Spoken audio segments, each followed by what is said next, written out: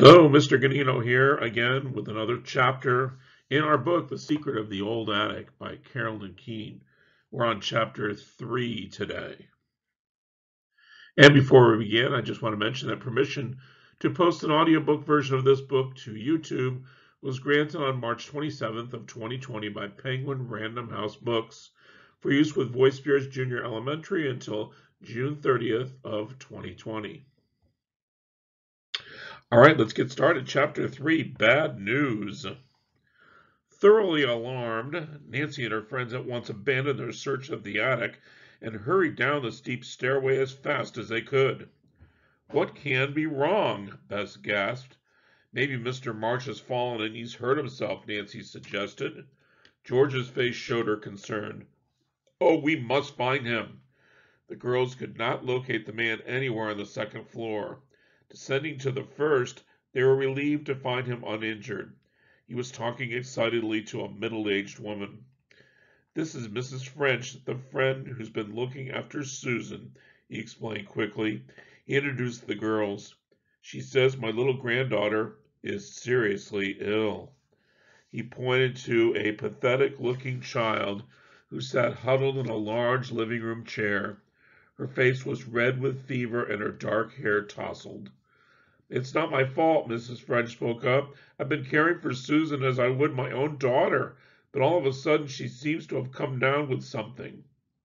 I'm sure you're not to blame for Susan's illness, Nancy said kindly as she went towards the little girl. Let's take Susan to her room and then phone for a doctor. I don't feel good, Susan confessed as Nancy carried her up the stairs, followed by Bess and George. You'll soon be in your own bed. Then you'll feel better, Nancy said comfortingly. Poor little thing, Bess murmured. My eyes hurt, the child added wistfully, and I'm awfully hot. This gave Nancy an idea. When they reached the child's bedroom, she turned the lamp full on Susan. Measles, she announced, noting the red blotches. How well I remember when I had them. Same symptoms. Poor Mr. March, George whispered. What'll he do?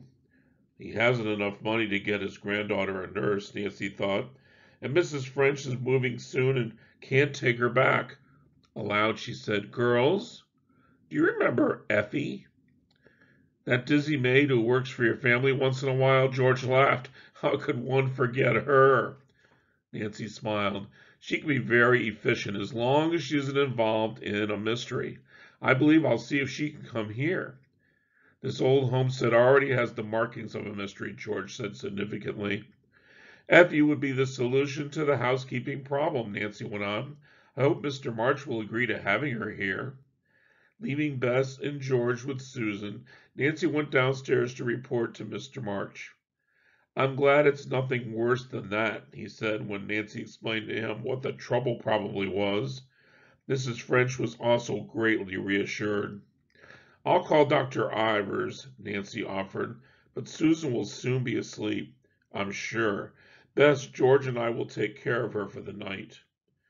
Mrs. French, although eager to be helpful, seemed relieved to be able to pass on the responsibility for Susan's care. After Nancy had phoned the doctor and received instructions, she notified her father that the girls were staying he offered to inform the Faynes and the Marvins. Well, as soon as Mrs. French left, Mr. March and Nancy went upstairs to see Susan. The child was resting quietly. Measles are not usually serious, Nancy remarked as they returned to the living room, but Susan will have to stay in bed for a while. What am I to do? the elderly man asked helplessly. I've never taken care of a sick child.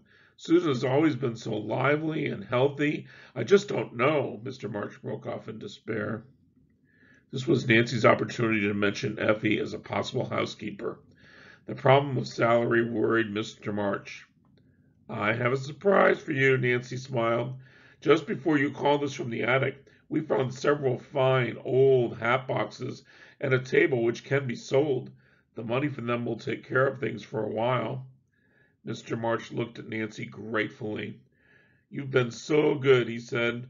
I guess fate led me to your door to ask your help for little Susan. As soon as things get straightened out here, I'll go on searching for the music, Nancy promised. The girls tried to make Susan comfortable with meager supplies in the house. Nancy sat up most of the night, acting as nurse to the feverish child. After breakfast the next morning, Bess and George took over. Nancy drove to Effie's house. The maid, kind hearted and loyal to the Drew family, was easily persuaded to take charge at Pleasant Hedges. She packed and left with Nancy, but when Effie glimpsed at the huge barren dwelling, she almost changed her mind. Oh, oh, she wailed. What am I getting into? Another mystery? This old place looks haunted. I believe I'd better go home. Nancy finally convinced the girl to stay. As Effie began to work, her fears seemed to vanish. She and Nancy had stopped to buy food, and soon Effie was starting preparations for a hot lunch. I've done all I can for the time being, Nancy said wearily to Mr. March, declining his invitation to stay. Dr. Ivers will be coming soon. The girls and I are going home to get some sleep. You more than deserve it, he said. I never can thank all of you properly for what you've done. The girls put the table and the hot boxes in Nancy's car and drove away. Nancy dropped Bess and George off at their homes. Then she went on to the Drew house. You must be thoroughly exhausted, Hannah Gruen declared. I may spend most of the day in bed, Nancy said. Later on, I'll go down to Mr. Faber's antique shop and try to sell Mr. March's things. When Nancy had completed her errand late that afternoon, she came home with a sizable check for the old table and the hat boxes. Mr. Drew praised her, then listened attentively to his daughter's report on the situation at the March mansion. Dad, did you hear anything from the police? Nancy asked. He shook his head. I guess that without clues, we're going to have to forget the stone thrower. Nancy was up early the following morning. She had just finished a hearty breakfast when Hannah Gruen told her that Effie was on the telephone. Effie, Nancy exclaimed, I hope nothing is wrong. She dashed out to the hall to answer the call. At first, Effie talked so fast in such an excited voice that Nancy was unable to determine what was wrong. Effie, Effie, calm down. I don't understand a word you're saying. Has something happened to Susan? Oh, Susan is all right, the maid admitted in a quieter tone. Well, then what is wrong? Everything. Oh, I'm scared. I don't want to stay. Tell me what happened. Well, last night, Effie paused. Yes. I better not tell you any more. Please get out here as fast as you can. Nancy lost no time in driving to the old March homestead. Effie met her at the door. Let's talk outside, the maid whispered. I don't want Mr. March to hear me. He gets so excited if anything goes wrong. Nancy held back a smile. Effie herself often reacted the same way.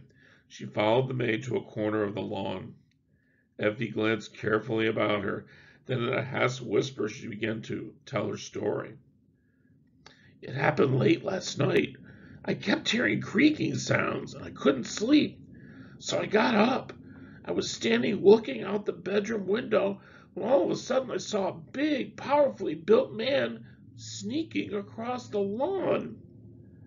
Had he come from the house? He must have. He came around from the back and stole off towards the garage.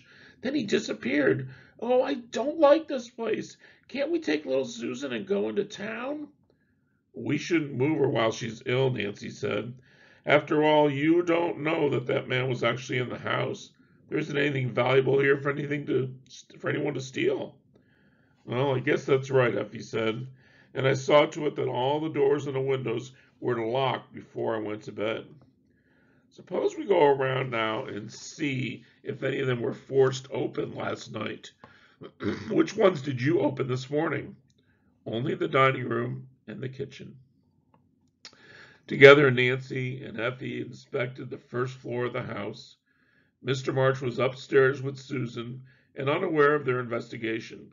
After each window had been checked and found to have been untouched by any intruder, Effie was greatly relieved. I guess that man wasn't in here after all, Effie said with a laugh. The maid returned to her work, Apparently no longer disturbed, Nancy was far from being satisfied. She went outside to examine the yard. To her dismay, she discovered fresh footprints in the soft dirt. They circled the house, then led away from a point near the former servants' quarters. Effie did see someone, she thought, but who would a prowler and why would a prowler be interested in anything here? Again, Nancy followed the circle of footprints around the mansion. Then an alarming thought struck her. Maybe he has the skeleton key. Another idea leaped into Nancy's mind. Perhaps the trespasser had been looking for Fipp March's unpublished music. He might be the one who had stolen the piece Mr. March had heard on the radio. And that is the end of this chapter. Join me again when we go to chapter four.